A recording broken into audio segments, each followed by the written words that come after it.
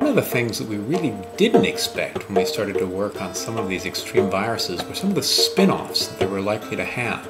Turns out that some of the work that we're doing, this is what we call the zombie virus project, might actually have some really amazing implications. Some of the work that uh, people like Dr. Stedman are uh, doing that, that's very useful, they're working in environments that uh, are not very friendly to uh, most of life. It's very helpful if we can be using uh, materials that will withstand the, the harsh environments uh, because then we can use those as means of purifying the, the reagents that we want to inject into people. What we're really interested in doing is looking at how the virus is actually interacting with the cell. And so when the virus comes in and does an infection, what it needs to do is open up its structure, that metastable state, in order to be able to release its genome into this host cell that it gets into and then make more virus particles. So we're really interested in this first step.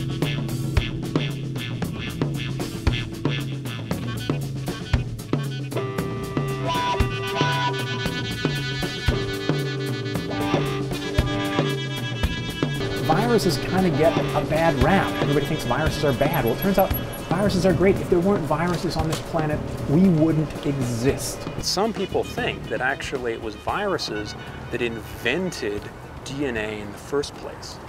And that is a really fascinating kind of hypothesis to think about. Hi, I'm Ken Stedman from the Center for Life in Extreme Environments at Portland State University, and I'm here to talk to you a little bit about The Edge of Life, the film that I'm actually putting together on the amazing universe of viruses and how they fit into it. Um, I'm a biology professor here at Portland State University, and I got really interested in viruses when I was actually working more on biochemistry than actually the viruses themselves. How did I get involved in this project in the first place? The way that I actually got involved was at a holiday party of the Radiation and Medicine Department at Oregon Health Sciences University, where my wife works. And while I was there, I ran into Rod, of all places, in the buffet line, and he noticed this brooch that I was wearing.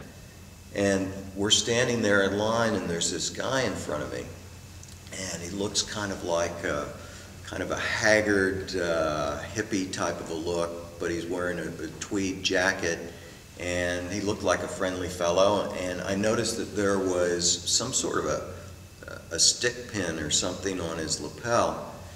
Which was made by my mother in law, and it's actually of a virus that I found when I was doing research in Yellowstone National Park.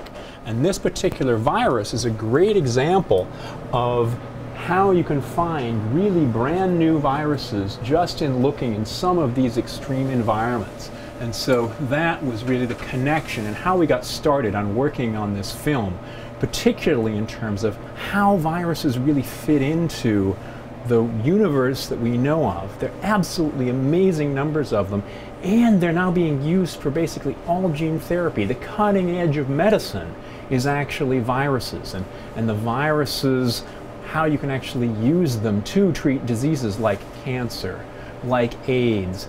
And so now we're trying to put together this film in order to get that message out, get that message across, how important viruses are for you, for me, for everybody. So, so far we've been able to actually get some great footage based on things that we did in Lassen Volcanic National Park, some stuff that we've done here at Portland State University. There's some great shorts that we have so far, some great clips. You can see them on our website. But we really need to take that next step. We need to move on and collect enough resources to be able to move to make this a whole project, get that project to completion, and move it forward. And so that's really where we could use your help. We're really looking forward to working together with you on what I think is this extremely exciting project. We're hoping that this documentary will be able to reach millions and millions of people around the world.